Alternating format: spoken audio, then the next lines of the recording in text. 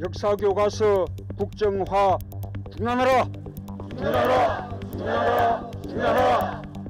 누리과정 예산을 즉각 해결하라. 박근혜 정부의 역사 국정 교과서 강행과 누리과정 예산 편성 거부로 국민들의 걱정이 날로 깊어지고 있습니다.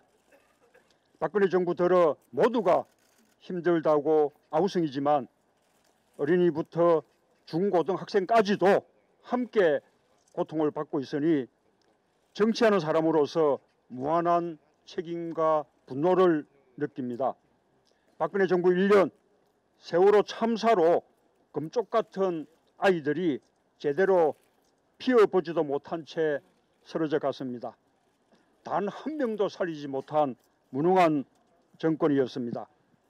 박근혜 정부 2년 메르스 사태로 수많은 학생들이 등교조차 못할 정도로 두려움에 떨었습니다. 우왕좌왕하며 수많은 희생을 낳은 무책임한 정권이었습니다. 그리고 지금 박근혜 정부 3년차 역사 교과서 국정화로 우리 아이들에게 획일적인 역사 교육을 시키겠다고 합니다.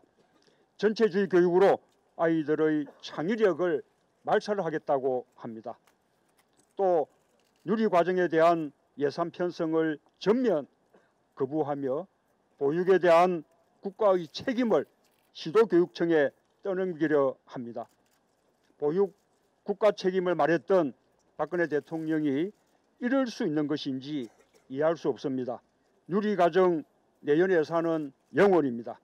이미 올해도 전체 2조 1천억 가량의 예산 중 정부는 5천억 원을 부담했을 뿐이고 나머지 1조 6천억 원의 예산을 시도교육청이 떠안았습니다.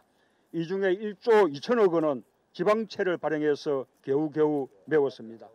내년에 상환해야 할 원금과 이자만 해도 5,530억에 달합니다. 이 때문에 더 이상 빚을 낼 여력조차도 없습니다. 그러면서 국정교과서 예산 44억 원은 예비비로 무단 편성하고 불법 집행했습니다. 명백한 국가재정법 위반입니다.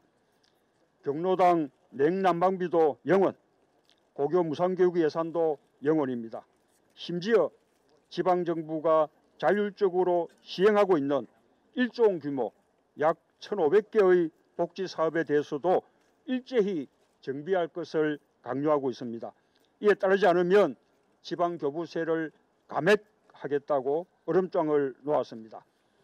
박근혜 정부의 복지 예산 떠넘기기로 인해 이미 전국의 지방 정부는 파탄 지경입니다. 박근혜 정부는 유리과정 예산을 전액 국고로 편성하여 국민과의 약속을 지켜야 합니다. 지방재정법, 지방교육자치법 등 상위법에 어긋나는 시행령과 규칙 개정도 원천무효입니다.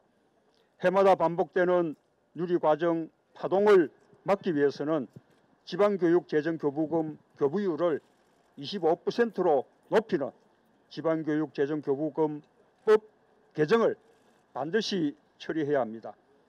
아울러 악화된 지방재정 문제를 근본적으로 해결하기 위해 현재 11%인 지방소비세 비중을 16%로 높여야 하고 장기적으로 20%까지 끌어올려야 합니다. 우리 당은 박근혜 정부의 역사국정교과서를 막아내고 누리과정에 대한 국고 편성을 반드시 관철시켜 낼 것입니다.